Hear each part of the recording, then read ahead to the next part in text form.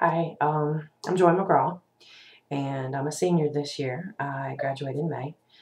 Um, I've uh, I've had a great time with these IDS classes. Um, I've learned so much uh, being a non-traditional student, it has been very difficult for me to um, find a major that I fit into. Uh, so.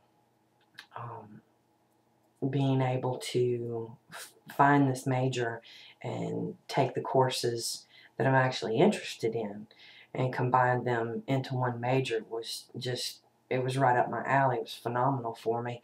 And uh, so I was able to um, to take speech therapy which is the um, one major that um, I've worked with uh, people with speech disorders for seven years now with the company that I work for. And I've always had a huge interest in helping people. So family studies um, is my next was is my second concentration, and it has uh, combined the two um, to be able to focus on families of people with um, speech disorders to um, better uh, help to help them better understand what their loved one is going through. Um, uh, at present, there are, you know, the speech therapist does some education about the disease itself or the disorder itself. Um, but so many times I've, I've found in um, in uh, helping with the, in helping the therapist work is that families are still frustrated. Uh, they don't understand why their uh, family members not getting better faster um, or that uh, they just don't seem to be making progress, or the progress is too slow, or the progress is too fast. Uh, one day they seem that they're getting better, the next day they don't. Um, and being able to sit down with a family and counsel them and educate them, and let them know, uh, you know, the, the facts usually um, eases eases their minds.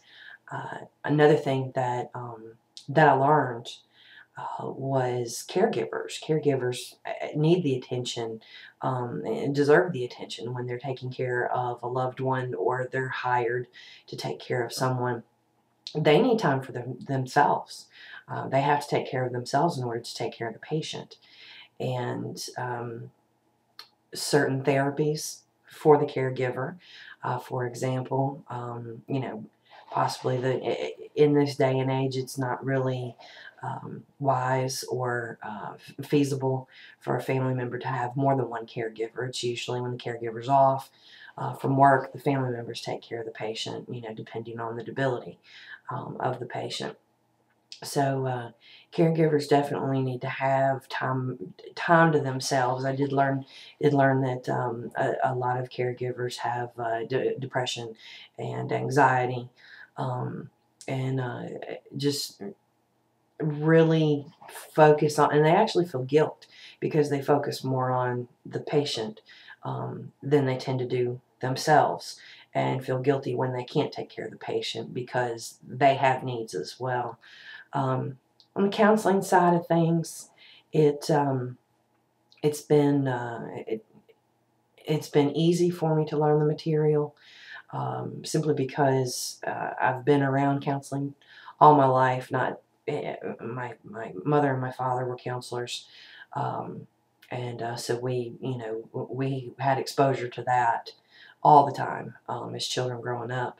But um, I've I've learned so much, and it has been a great course.